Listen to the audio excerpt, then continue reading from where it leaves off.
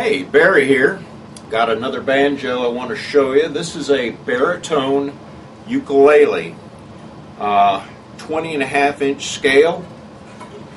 Curly maple neck. It's got some real nice flaming on that. It's all natural. It's kind of got a 3D effect on it. It's got a gloss finish. The fingerboard is rosewood and it's oiled and it has uh, mother pearl, no, not mother pearl, ab- abalone uh, markers, dots on the uh, on the fretboard. I've got a corian nut. Uh, I cannot remember the kind of hardwood that's on the uh, peg head. It's, it's, a veneer. Also, I have the same veneer down here at, around the scoop. I've got uh, ebony violin tuners, friction tuners, like I always put on my instruments.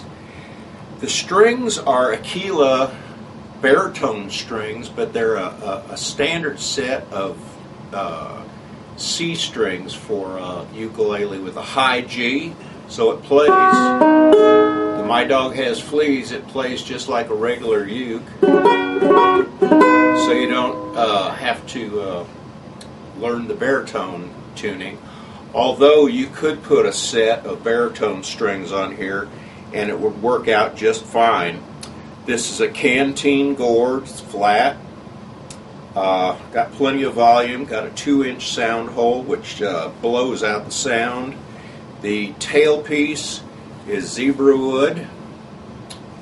And this is just a, a, a nice size instrument. It's not too it's not too big, but it's you could take it with you on a plane without any problem.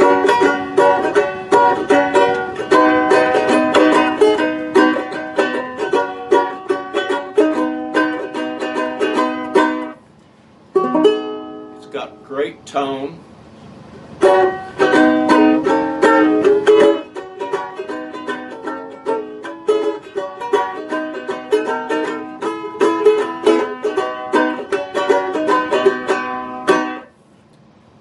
This is it. This is a baritone. It's this is number 056B.